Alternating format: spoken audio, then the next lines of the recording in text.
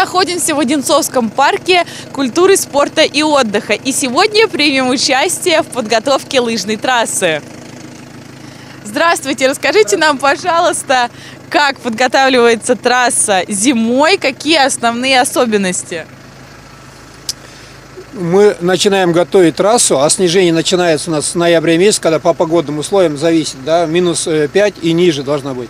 Но подготовка трассы ежедневно, мы готовим ежедневно с часу ночи до 9 утра, должны подготовить все лыжные трассы в Одинцовском парке. Хорошо подготовленные трассы – раздолье для лыжников. На Лазутинке каждый день выравнивают поверхность лыжной трассы длиной в 17 километров. В ход идет специальная снегоуплотнительная машина. Тяжело ли управлять такой машиной?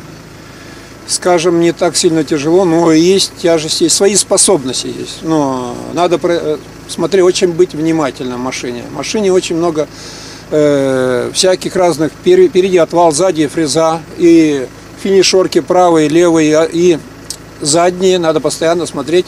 А еще лыжерезка, плавность хода, вращение и десяток рычагов, которые регулируют направление ковшей. Управлять спецтехникой на гусеничном ходу надо аккуратно, соблюдая расстояние между полосами, говорит водитель снегоуплотнительной машины. Трассы раздельные, 6 километров лыжероллинг трасса отдельно, 3, 3 300 экотропа и 3, 4 километра у нас левая, сложная трасса красная, скажем, имитационная. И правой стороны равнинная трасса, у нас легкая трасса, 4 километра. Мы должны их ежедневно подготовить для э, отдыхающим. Почему их, кстати, так много? Они как-то отличаются? Э, Это выравнивает сзади полностью.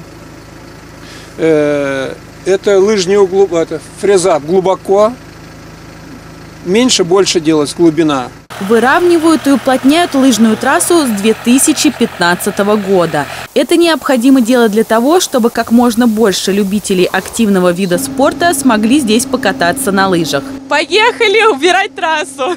Екатерина Крамер, Артем Ломоносов, телекомпания «Одинцова».